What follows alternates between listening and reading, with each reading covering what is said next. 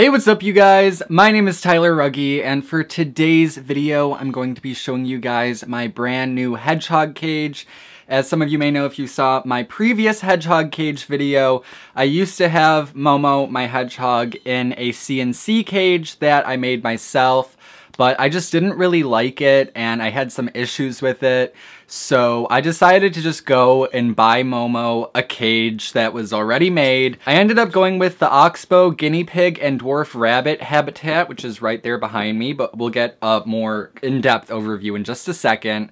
But yeah, it's the guinea pig and dwarf rabbit habitat, which I actually would not recommend at all for guinea pigs or dwarf rabbits because that is way too small for either of those things. But for hedgehogs, this actually will do the trick. So it's great for hedgehogs and I have loved it so far. I've been using it for a couple months now already and it's been great. The dimensions of the cage itself are 36 inches by 18 and a half inches by 22.5 inches tall. So in square footage, this equates to being around 4.6 square feet, which the minimum for hedgehogs is 4 square feet. So this is actually just a little bit bigger than the minimum. And the reason why I just wanted to include that is because a lot of the times enclosures on camera can appear to be a little bit smaller than they actually are. A lot of people were saying my CNC cage was too small when that was 4 square feet.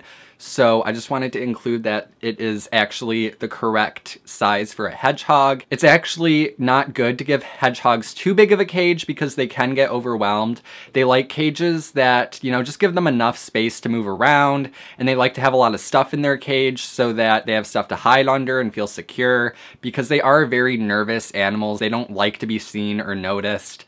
So they don't like to have like a big open area because they'll feel vulnerable. So this is actually like the perfect size for a hedgehog in my opinion. And I also have a lot of stuff in there to give him places to hide and crawl under just so that he can always feel secure. Before I show you guys the cage, it did come with some stuff that I'm not currently using, but I just wanted to show you guys what it came with. First thing, it came with a water bottle, which I'm not using because hedgehogs in my opinion, it's better to give them a water dish, so I'm not using this for Momo. It came with this thing that attaches to the side of the cage and you can put hay in it. This is intended for if you're gonna keep a rabbit in there, which again, I think it's too small for a rabbit.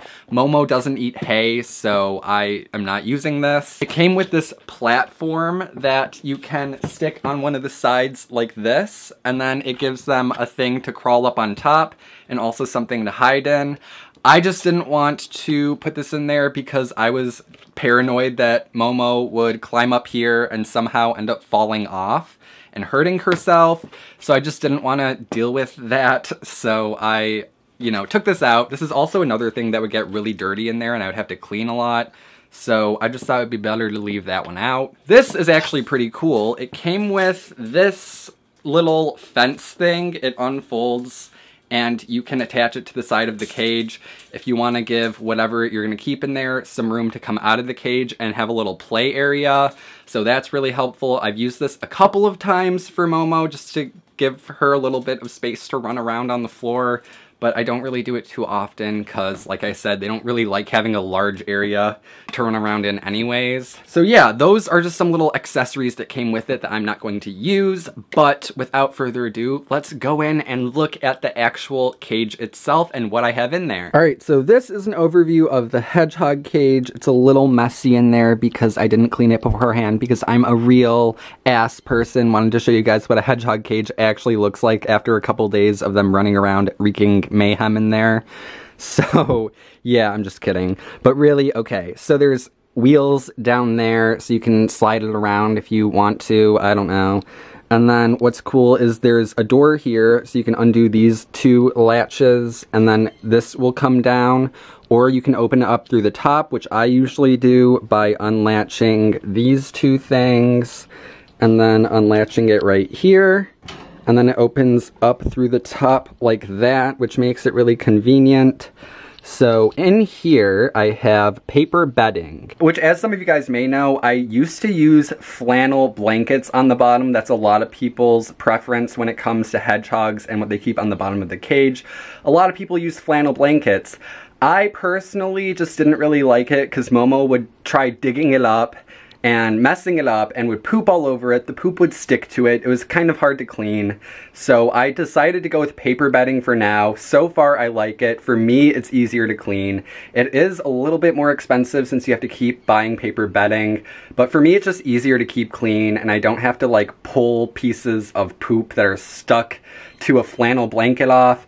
So yeah, that's why I'm using paper bedding. And also Momo likes to like burrow down underneath it. So I think Momo likes it more too. It's really just personal preference if you want to use a paper bedding or if you want to use a blanket. I might try the blanket out again, we'll see. But for now, I'm just using paper bedding. I just wanted to quickly explain that. So let's just get back to it. I have this little flannel hide and also a flannel tunnel right here.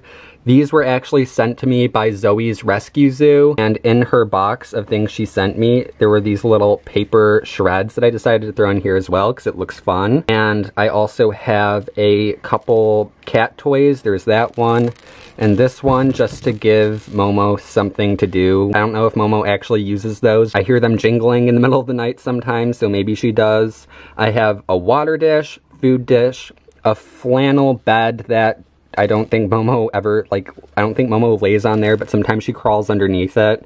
And then I have a Carolina Storm bucket wheel, which is really good for hedgehogs. It's a nice big wheel, big enough for them to run on. Momo used to never use her wheel, but now she runs on it all night long. So it's nice and it's also pretty quiet. So I really like this wheel. I got it on Etsy. And Momo, I think, is down underneath here. There's Momo, the grumpy hedgehog. Hi, Momo. Can you just say hi for the video really quick, please? I'm sorry to wake you up, but I just wanted everyone to say hi to Momo. Hi, Momo. They ask you how you are, you just have to say that you're fine when you're not really. Oh, you're such a good hedgehog, aren't you? All right, I'll put you back in your little your little den down there. There you go. I'm sorry I woke you up. There you go. So yeah, that's just uh, my hedgehog cage. It's not too exciting. What you see is what you get, but it's really nice and sturdy, and I really enjoy it, and I think it does a great job at housing my hedgehog. So there we go. So yeah, that's it for the tour of my brand new hedgehog cage. I hope you guys enjoyed it. If you did, give it a big thumbs up. Subscribe to my channel. I post videos every week. Check out my social media and my vlog channel. The links to those will be down in the description below. And I'll see you guys in my next video.